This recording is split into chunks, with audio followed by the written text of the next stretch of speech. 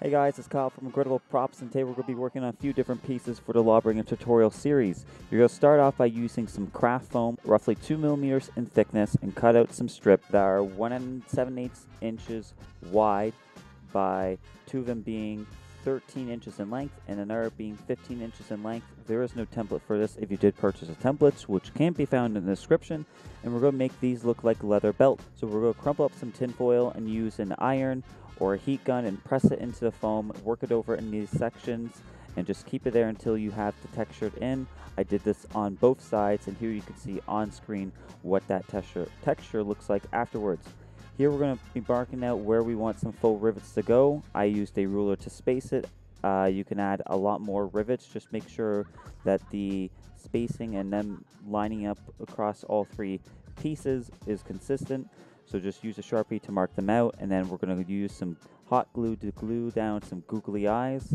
Once set down, there's going to be two templates of circles in red. One's going to be smaller than the other. The smaller one is going to be stacked on top of the other one like you currently see, and those are going to be glued down at the very bottom of those pieces of craft foam. And we're going to secure those to the end of the belts by using some hot glue.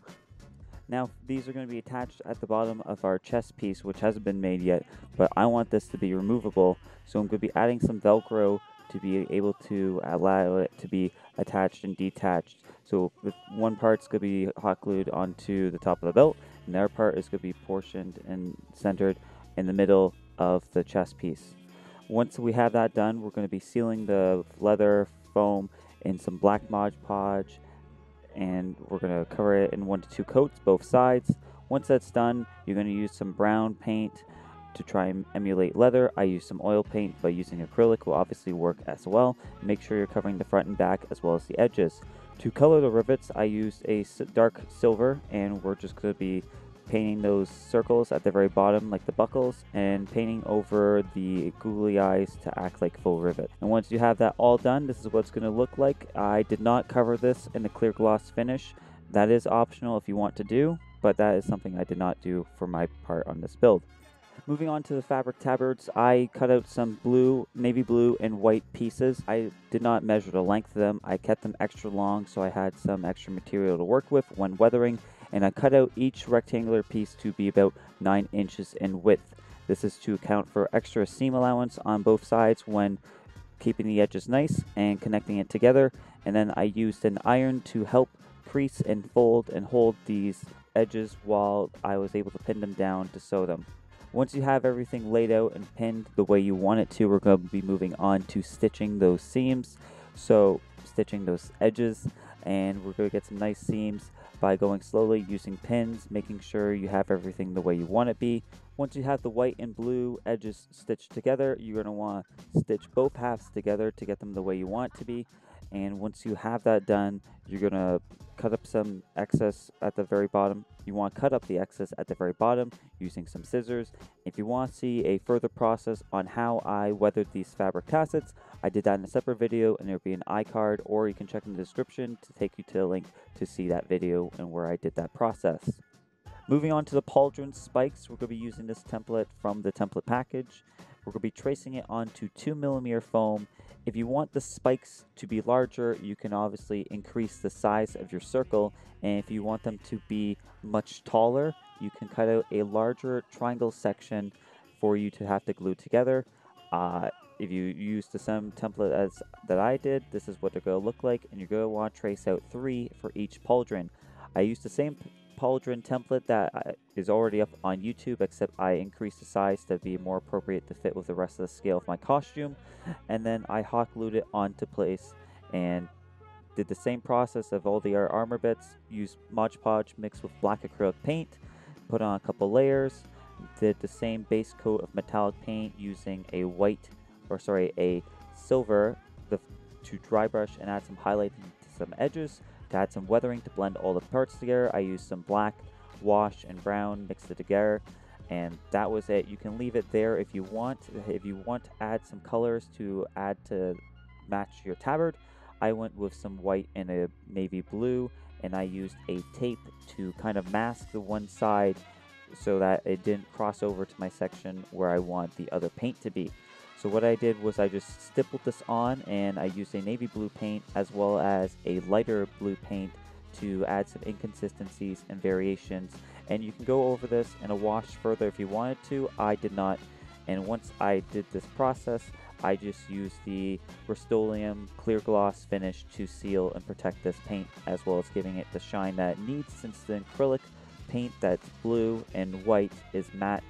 Adding this acrylic, sorry, adding this gloss finish to seal it will help give it that shine that it doesn't have since it's a matte finish. As for the chainmail shirt, which you guys have seen me wearing uh, for when I've done some of the uh, posing pictures, uh, this I purchased from Amazon. Uh, it was a 44 or 42 size. Um, I don't have the packaging on it, but I do have the Amazon link from where I purchased it. You might be able to find it in some costume stores. It's got like this cross passage, not really cross pattern, zigzagging stitch that goes down the shirt and the arms. It also came with a tunic uh, that covers my head, and it's just like a, a balaclava, if you know what that is. Um, but that came along with it on top of coming with the shirt. It has a very thin material, black, that's lining it. So it's kind of see-through, but not really. Um, and here you can see it's separated from it. It's very lightweight. I only wear this. I don't wear another shirt underneath when I have the costume on, simply due to the ease of strapping and how I have the measurements set for uh, those straps on my armor pieces so they can make it easily uh, to put on and off. So I only have, I only wear this when I do wear it. Um, and it's quite comfortable. The sleeves are a little bit long. Um, obviously it's a little bit baggy, which is kind of great. It adds to the uh, chainmail like that it's trying to emulate and it's meant the size was a little bit larger I only saw one size when I purchased it um, it came with free shipping and it was on sale and I mentioned in the beginning uh, about around $40 Canadian so probably a little bit cheaper for those who are in the US or UK but then you guys might have to worry about shipping um, really great would recommend it for a chainmail alternative if you guys don't have an actual chainmail shirt um, get some movement so you guys can see kind of like what it looks like when it's moving so anyways that's the shirt. The jeans that I wear are, let me see, just a pair of jeans from American Eagle. These aren't the ones I wore, but you know, they work. Um, so I just have a spare pair of jeans that have been kind of tattered and worn. Doesn't really matter about the pockets because the pockets won't be seen since it'll be tucked underneath the armor and how this drapes, it kind of covers those pockets. So you can obviously go to extents of weathering it, but I don't think you really need to weather the jeans, uh, which is the type of material that is used in the Lawbringer armor from what I've seen online. But simply, you, you don't need to weather them really, since they're covered by the hip plates for a good portion, as well as the kneecaps and just other foam armor pieces. So anyways guys, um, that's the second last tutorial portion for the Lawbringer Armor series. I hope you guys enjoyed. Once again, templates can be purchased in the link in the description. Any videos and uh, other parts that have been mentioned to other links will also be mentioned within the description as well as materials used. If you guys enjoyed this video, don't forget to hit thumbs up and subscribe if you want to stay tuned for more cosplaying videos.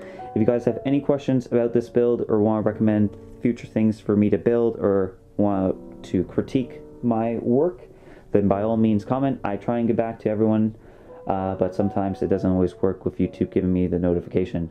So anyways, I hope you guys have a good day, and this has been Kyle from Regrettable Props. Bye.